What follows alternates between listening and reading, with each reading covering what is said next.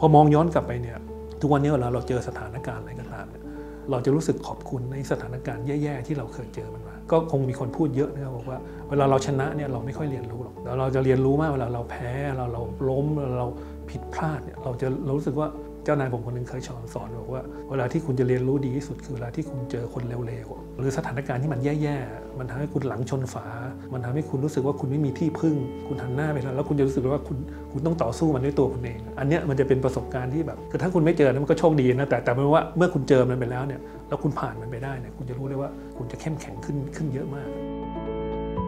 ชีวิตของประพาสเป็นอีกหนึ่งกรณีศึกษาที่น่าสนใจที่พบกับจุดเปลี่ยนต่างๆ มากมาย แต่ไม่ว่าจะเป็นจุดเปลี่ยนที่ดีหรือโหดร้าย เขาก็สามารถเติบโตได้อย่างแข็งแกร่ง ได้เรียนรู้และเข้าใจความหมายชีวิตมากขึ้นเรื่อยๆ โดยจุดเปลี่ยนที่สำคัญของเขาในช่วงวัยรุ่นก็คือ การเข้ามาศึกษาในกรุงเทพ ที่คณะครุศาสตร์ จุฬาลงกรณ์มหาวิทยาลัย ตั้งแต่ผมเป็นเด็กมาเนี่ยมันก็มีเรื่องให้เปลี่ยนแปลงพอสมควรนะครับนะว่าเพราะอาจจะเป็นเพราะว่าผมเป็นเด็กต่างจังหวัด คือคำว่าต่างจังหวัดในเมื่อ 30-40 ปีก่อนเนี่ย มันไม่เหมือนอย่างวันนี้นะครับโอกาสอะไรมันก็น้อยมาก เพราะฉะนั้นผมก็เป็นคนต่างจังหวัดที่ เป็นตัวแทนคนต่างจังหวัดที่ต้องมาทำงานในกรุงเทพมาเรียนหนังสือในกรุงเทพอันเนี้ยเป็นจุดเปลี่ยนสำคัญมากนะเปลี่ยนสถานที่ เปลี่ยนการเดินทาง เปลี่ยนที่เรียนหนังสือเปลี่ยนวิถีชีวิตเพราะฉะนั้นเนี่ยผมคิดว่าอันเนี้ยก็เป็นเป็นเป็นเป็นเป็น turning point ที่สำคัญจากถิ่นเกิดมาทำงานอยู่ในที่หนึ่งมาเรียนหนังสือในที่หนึง บผมว่าสิ่งดีอย่างที่ที่เรียนที่ครุศาสตร์คือครุศาสตร์คือวิชาการสอน สิ่งแรกที่สำคัญจากการเรียนครุศาสตร์คือ มันสอนให้เรารู้ว่าเรามีหน้าที่ต้องสอนคนหมายถึงคำว่าสอนคนคือเราต้องพูดให้รู้เรื่องถูกไหมฮะคือคนจะสอนคนได้มันต้องพูดรู้เรื่องอันนี้คนจะพูดรู้เรื่องได้ก็แปลว่าต้องมีการรับฟังที่ดีมาก มันถึงจะเอาไปถ่ายทอดต่อได้ หลังจบการศึกษา ประพาสก็ไม่ได้ทำงานในสายอาชีพครูตามที่ร่ำเรียนมา แต่เขาพยายามค้นหาตัวเอง ผ่านสายงานที่หลากหลาย ก่อนจะค้นพบเส้นทางที่ใช่ได้ในที่สุด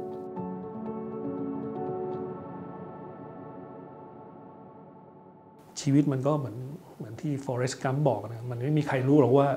ว่าเราจะไปเปิดเจอช็อกโกแลตรสอะไรนะครับแล้วก็สุ่มสี่สุ่มห้าไปนะจนวันหนึ่งเนี่ยผมคิดว่าผมได้เริ่มไปทำงานหนังสือพิมพ์ฉบับหนึ่งนะครับ เพราะว่าอย่างอย่างที่เรียนนะว่าไอ้วิชา ครูมันยังสามารถทำให้เราเขียนหนังสือเป็นฟังคำรู้เรื่องเราก็พอเขียนอะไรได้ พอทำงานในในหนังสือพิมพ์ก็ไม่ไม่ระยะไม่นานพอดีเลยธนาคารกสิกรไทยเนี่ยเขารับสมัครพนักงานประชาสัมพันธ์ พอเข้าไปทำที่กสิกรไทยแล้วเนี่ยอย่างที่บอกชีวิตมันมีการปฏิดประต่อไปเรื่อยผมทำงานประชาสัมพันธ์ไปสักระยะหนึ่งเนี่ยผมก็เริ่มตอนนั้นก็เริ่มไปเรียนปริญญาโททั้งที่วารสาร การเรียนปริญญาโทที่วารสารเนี่ยมันทำให้ผมเจอคนที่มาจากบริษัทโฆษณาโอ้โหรู้สึกเฮ้ย คนที่มาจากบริษัทโฆษณาในยุคนั้นนะครับเมื่อ 30 ปีมันต้องใช้คำง่ายๆคือเอ้ยมันเท่มากเลย ถือกระเป๋า artwork อันใหญ่ๆ ผมก็สนใจวิชาโฆษณานะครับผมก็เลยพอสักทำงานที่นั่นไปสัก 3 4 ปีมันก็เหมือนอะไรมันก็เกิดความเชื่อมั่นนะก็เข้าไปทำงานในบริษัทโฆษณาพอจากบริษัทโฆษณาทีนี้ก็เนี่ยมันก็เลยไปเรื่อยเลยที่พอทำงานโฆษณาเนี่ยมันก็นักโฆษณากับนักการตลาดมันของคู่กัน มันของคู่กันเห็นไหมว่าจาก ประชาสัมพันธ์มางานโฆษณาจากโฆษณามาการตลาด มันมันมีจุดเชื่อมโยงที่มันทำให้ว่าเฮ้ยถ้ารู้เรื่องนี้แล้วขยับไปรู้อีกนิดได้ไหมมันถึงได้มาทำงานในสายการตลาด พอทำในสายการตลาดเนี่ยผมก็ว่าเออจริง ๆ ผมคงถนัดในสายการตลาดที่เน้นเรื่องสื่อสารการตลาดมากกว่า ก็เลยมาเป็นอยู่ที่ที่อยู่ทุกวันแบบนี้ครับ ไม่ว่าจะวางแผนชีวิตไว้ดีแค่ไหน แต่ทุกชีวิตย่อมมีช่วงที่ประสบวิกฤต ประพาสได้หยิบยกสถานการณ์ช่วงลดค่าเงินบาท ที่ส่งผลกระทบให้เศรษฐกิจไทยย่ำแย่อย่างหนัก ซึ่งในเวลานั้นการปรับตัวให้ได้คือหนทางเดียวที่จะรอด พอประมาณสักปี 96จำได้ไหมครับปี 97 96 97เนี่ยเราเกิดการลดค่าเงินบาทครั้งใหญ่ธุรกิจนี่แบบสลบเลยมากแต่ตอนนั้นเนี่ยผมเริ่มข้ามไปทำงานบริษัทเป็นบริษัท marketing แล้วนะครับผมจำได้ว่าเราเราคำนวณค่าสินค้าที่ต้องนำเข้าเนี่ยจาก 25 บาทเป็น 30 บาทเป็น 33 บาท เป็น peak สุดเนี่ย1บาทกับ 52 1เหรียญสหรัฐกับ 52แล้วเนี่ยมันเป็นยุคที่อยู่ดีๆ ว่าโลกหมุนอยู่ดีๆ มันหยุดปึ้งแล้วคนเนี่ยช็อกมากคนตกงานบริษัท การควบรวมกิจการธนาคารมันโหมันเป็นช่วงที่แบบ คนอยู่ดีจนโดยไม่รู้ตัวเนี่ยเยอะมากนะนั้นแต่ผมว่ามันก็เป็นโชคดีอย่างผมไปอยู่ในบริษัทที่มันค่อนข้างเฮลตี้หน่อยก็เลยไม่ได้ไม่ได้โดนลดเงินเดือนไม่ไม่ได้ไม่ได้อะไรแต่ได้เห็นแล้วก็ได้โหได้อะไรอะได้เรียนรู้อะ เราพูดถึงสมัยนั้นเนี่ยเคยมีบัตเจ็ตในการใช้จ่ายค่าการตลาดอะไรบ้างศูนย์บาทหมด คือถ้าไม่ปรับตัวหมายว่าถ้าถ้าถ้านไม่ออกเวลามันเกิดสถานการณ์เนี่ยสิ่งหนึ่งที่คุณต้องเรียนรู้คือว่าเวลามันเกิดสถานการณ์อะไรที่มันขับขันจริงๆ คุณต้องเซอร์ไวคุณต้องอยู่ให้ได้ ผมผมจำได้บริษัทข้ามชาติตอนนั้นผมอยู่เขาบอกว่าผมไม่สนหรอกค่าเงินบาทจะเท่าไหร่จะคุณต้องทำธุรกิจที่ได้เท่าเดิม ผมว่าคุณถูกจ้างมาคือเน้นเพราะผมสมัยก่อนเราฟังเราก็รู้สึกว่ามันโหดร้าย แต่พอมันพอวันนี้เราย้อนกลับไปดูแล้วบอกโอ้เราโชคดีมากที่เราได้เรียนรู้ เราได้เห็นว่า เราได้เข้าใจว่าคนทำธุรกิจเขาไม่สอนหรอก คุณกินเงินเดือนเขาอะคือเหมือนเป็นลูกจ้างเขาอะเขาไม่สอนหรอกว่ามันจะฝนตกฟ้าร้องแดดออก เงินเดือนคือคอนแทคเงินเดือนคือสัญญา ว่าผมจ้างคุณมาทำแบบนี้ผมผมบอกว่าบางทีผมก็เอาสิ่งนี้มาสอนคนรุ่นปัจจุบันนะว่าให้รู้ว่าว่ามันเกิดสถานการณ์อะไรขึ้นมาเนี่ย เขาไม่สนหรอกถ้าคุณเป็นลูกจ้างมืออาชีพนะคุณไม่ใช่อยู่ในระบบราชการที่ยังไงก็มีเงินเดือน คุณต้องคุณต้องคุณต้องสร้างธุรกิจ คุณได้ค่าตอบแทน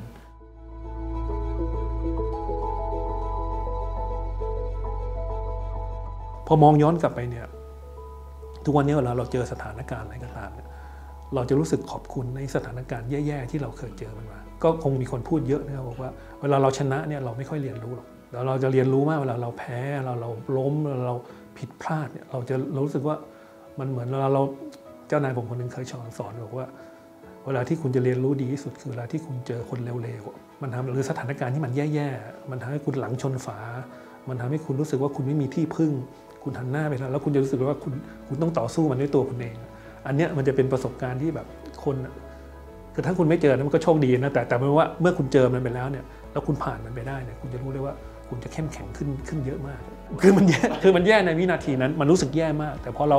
เหมือนเหมือนคนอกหักเนี่ยคนอกหักจะรู้สึกว่าโหโลกทั้งใบมันมันหมดแล้วมันนี่แต่เวลาคุณผ่านมาแล้วคุณย้อนมองย้อนกลับไปคุณจะรู้ว่าเออมันมันไม่ขนาดนั้นหรอกแต่ในวินาทีนั้นคุณจะมืดมนมากแล้วเนี่ยถ้าใครเจออะไรก็ตามคุณก็ต้องหายใจแรงๆอีกสักปืดหนึ่งให้ให้ให้ยังอยู่ได้อะภาษาอังกฤษเขาใช้คำว่าอะไร hang in there ให้มันให้มันอยู่ก่อน เวลามันผ่านไปแล้วทุกอย่างมันจะค่อยๆ คลี่คลายไปด้วยตัวมันเองประพาสเล่าว่า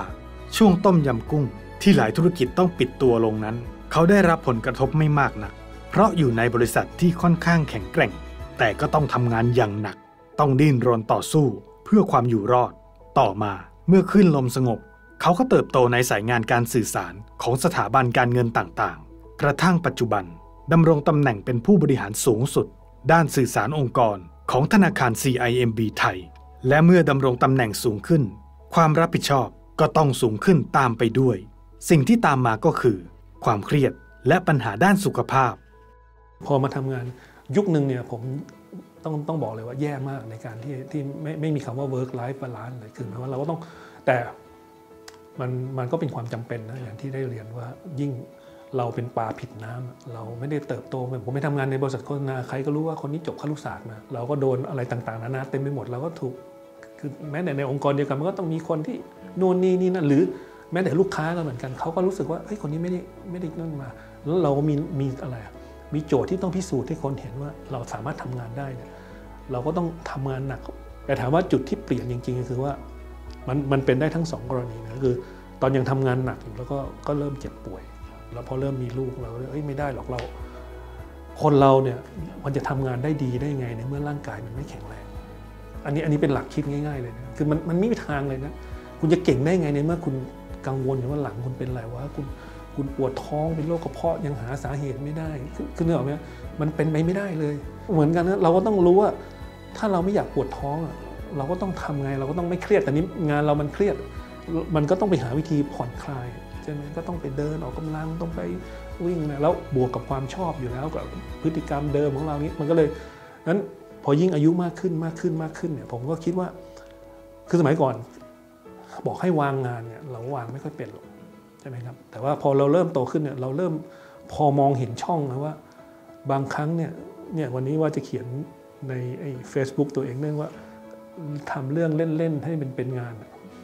นี่ยอย่างที่เรากำลังทำผมชอบไปแคมป์ในวันนี้เราก็ทำบูธเราก็ทำเรื่องแคมป์คือไปมาเราเคยค้นพบว่าอ๋อบางทีเครื่องเรื่องเล่นๆเนี่ยมันก็จะเป็นงาน ผมยังคุยกับน้องเลยว่า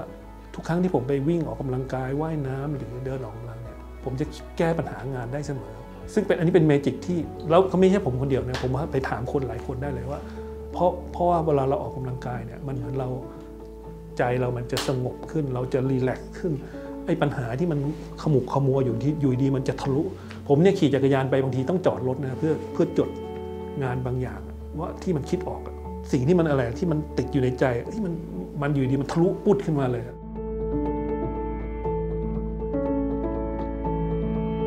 คาว่า work life balance ในความคิดผมคือ คือทำงานก็ทำให้มันจริงจังใช้เขาเรียก quality time หา quality time ให้ได้คือ ใช้เวลาไม่ต้องเยอะเราก็หมายถึงว่าใช้เวลาให้มันเหมาะสมอย่าเรียกว่าไม่ใช้เวลาให้มันเหมาะสมแล้วได้คุณภาพของงานที่ดี ซึ่งอันเนี้ยผมก็มาเรียนรู้จากการออกกำลังกายนะผมว่าเมื่อถ้า เหมือนคนที่เขาวิ่งไปถามเลยนะว่า คนที่เขาวิ่งเก่งๆเพราะว่าเขาวิ่งถูกหลักเขาก็พอวิ่งถูกหลักมันก็ใช้แรงน้อย ใช้แรงน้อย ใช้กำลังน้อย แต่มันได้ระยะทางมากขึ้น แล้วว่ามันก็เกิดความสนุก และทั้งหมดนี้ก็คือกล่องช็อกโกแลตของประพาสทองสุขที่ไม่สำคัญว่าที่ผ่านมา ชีวิตจะตกอยู่ในสถานการณ์ใด พ่ายแพ้ ชนะ ล้มเหลว หรือประสบความสำเร็จ แต่ความสำคัญอยู่ที่ว่า เราได้เรียนรู้จากสถานการณ์ต่างๆ เหล่านั้นมากน้อยเพียงใด โดยประพาสได้ทิ้งท้ายถึงความสำเร็จในมุมมองของเขาได้อย่างน่าสนใจ ดังต่อไปนี้สำเร็จจริงๆเนี่ยมันอยู่ที่ความพอใจของแต่ละคน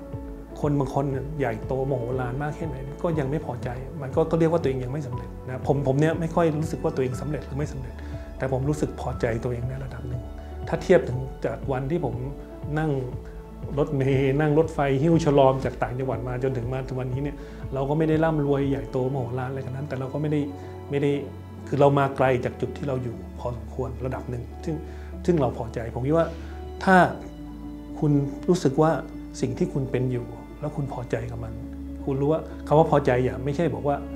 ขี้เกียจเราแบบเอ้ยพอแล้วแค่นี้ไม่ไม่ใช่ในในแง่นั้นนะในในความพอใจที่มันเป็นจริง รู้ว่าเออคุณได้ทำมันอย่างเต็มที่ ตอนเด็กเนี่ยผมเคยเป็นนักวิ่ง เพราะว่าอันเนี้ยเป็นเรื่องสำคัญมาก ผมเคยวิ่งแล้วผมแพ้ ก่อนไปวิ่งเนี่ยผมจำได้ครูเคยบอกว่า เวลาเธอไปวิ่งเนี่ยไม่มีใครบอกได้หรอกว่า เธอวิ่งเต็มที่หรือเปล่า มีเธอคนเดียวนั้นนะที่รู้ตัวเองว่าเธอวิ่งเต็มที่วันนั้นผมแพ้ แล้วผมรู้ว่าผมวิ่งไม่เต็มที่